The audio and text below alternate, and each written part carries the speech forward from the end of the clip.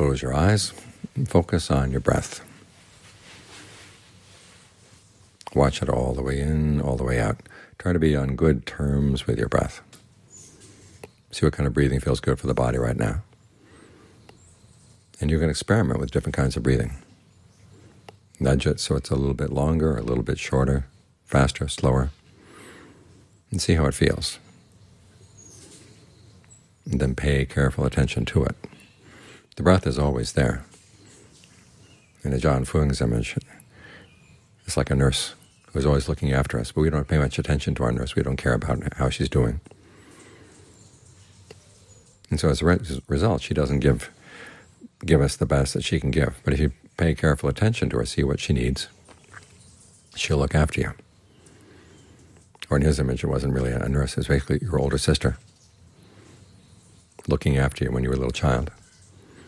Little children don't seem to care about how their caretakers are, looking, are doing. And so the caretakers get a little bit upset. But the child shows a lot of interest in the caretaker, the caretaker will show interest in the child. It's the same with the breath. The breath can do an awful lot for the body, it can do an awful lot for the mind. It's the bodily fabrication. In other words, it's the element in the body or the property of the body that governs all the rest. It's through the breath that you know your body. And when you breathe well, it creates a sense of well-being in the body. When there's a sense of well-being in the body, it improves your mood. When it improves your mood, you think you think straight. Let's put it that way. You think clearly. You're not driven around by feelings of dis-ease.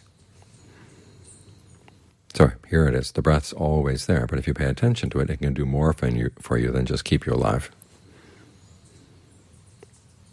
It provides a good home for you. It provides a good place for the mind to settle in and feel at ease, feel confident, feel strong. So give it attention, and it will repay you many times over.